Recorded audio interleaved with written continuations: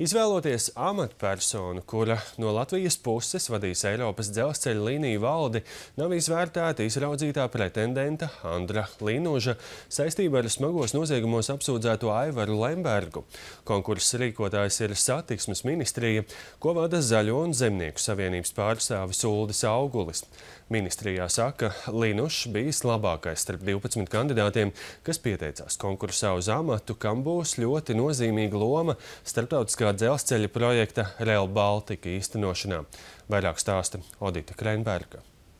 Eiropas dzelzceļa līniju vadītājam būs ļoti liela atbildība un arī pienākumi ne tikai kapitāla daļu pārvaldīšanā, bet arī pašā būvniecības procesā. Piemēram, šīs Rīgas centrālās dzelzceļa stacijas pārbūvē, arī dzelzceļa mezgla izveidē pie Rīgas lidostas un arī iepirkuma veikšanā šajā projektā, kas Latvijai izmaksās gandrīz pusotru miljārdu eiro.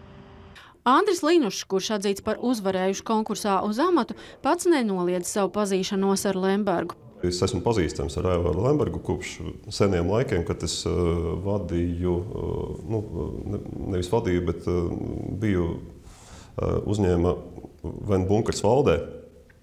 Viņš bija viens no akcionāriem.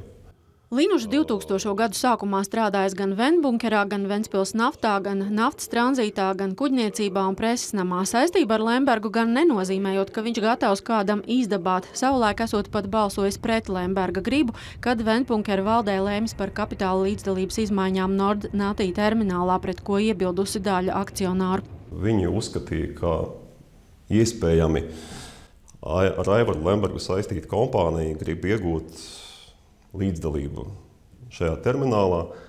Un, uh, faktiski šajā balsojumā es, es balsoju pret.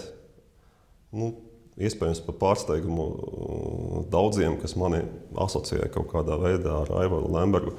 Satiksmes ministrs norāda, ka konkursa iznākums nesot un nevarot būt atkarīgs no ministra gribas. Es nevērtēju to, ko vērtē nominācijas komisijas.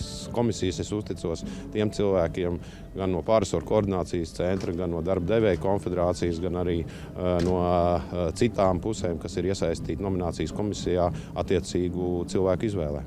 Komisijas vadība skaidro Linušs ieguvis vislielāko punktu skaitu, piemēram, bijis zinošāks Eiropas projektu ieviešanā. Kandidāta izvērtēšanā saistībai ar Lembergu nesot bijis nozīmes. Kā lai pasaka, šīs ziņas eh, rada kontekstu, bet uh, nedod, uh, nedod pamatu pieņemt vai nepieņemt kandidātu kā personu, kā, kā personību, kā profesionāli. Jo?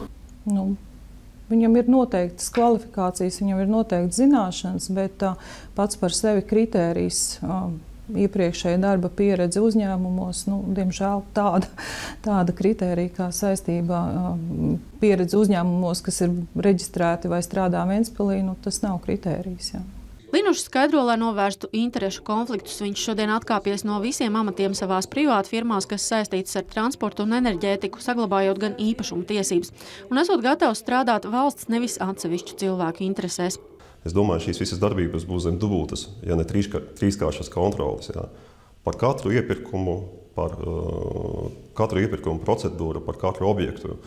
Vērojot, cik daudz amatu izmaiņu notikušas satiksmes jomā kopš tur saimnieko zaļzemnieki, skan arī kritiski vērtējumi par iepriekšējām izvēlēm.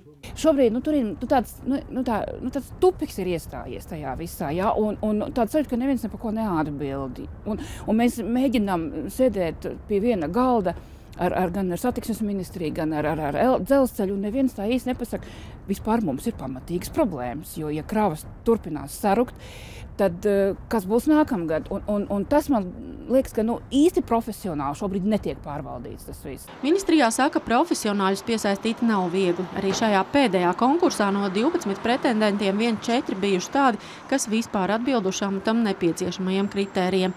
Un Lita Krenberga, Aigars Kovaļevskis, Raivo Frēmanis, Latvijas televīzija.